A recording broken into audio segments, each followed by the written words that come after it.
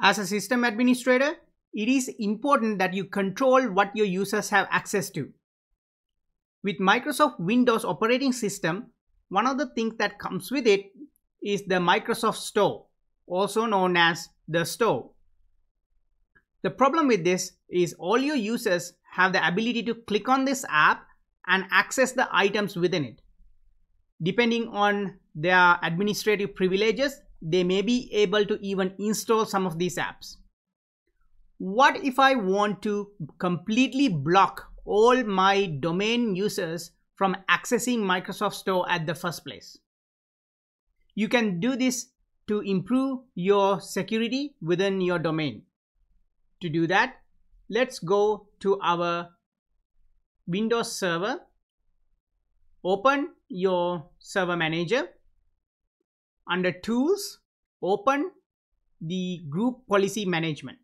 Because what are we going to do now is to use a group policy to block users from accessing the Microsoft Store. On your Group Policy Management console, on the left hand side, navigate to the OU where you would like to apply this policy. I would like to apply this policy to everybody underneath the Net IT Geeks OU. So I'm going to right click right here and select create a GPO in this domain and link it here. And I'm going to name this as block Microsoft Store.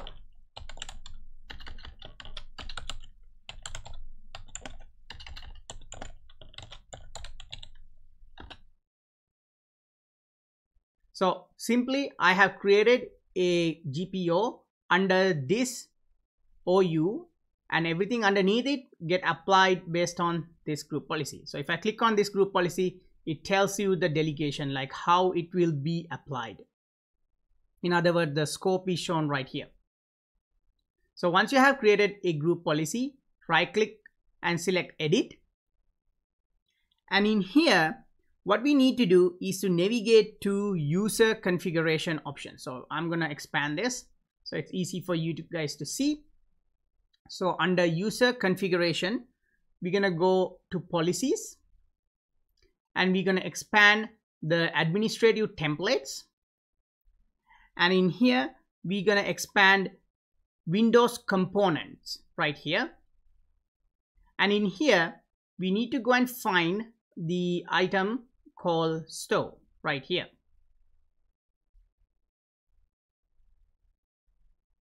On the right hand side, we have few options we can configure under this particular group policy. Under the store, we have turn off the offer to update the latest version of Windows, turn off the store application, only display the private store within Microsoft Store. The option we want to select today is to turn off the store application because we want to prevent users such as this guy over here from accessing the Microsoft Store from their client computer. So in here, select turn off the store application, right click, click edit, and we're going to enable it. And right here, it tells you what it will do. If you enable this setting, access to store application is denied. So we're going to apply that policy. It is enabled and click OK. So right here, it's applied and I'm going to go back to my domain connect connected device. And if I go here and click on Microsoft Store, it will still open because we need to update our GPOs. So to do that, we're going to select command prompt CMD. I'm going to go GP update slash force.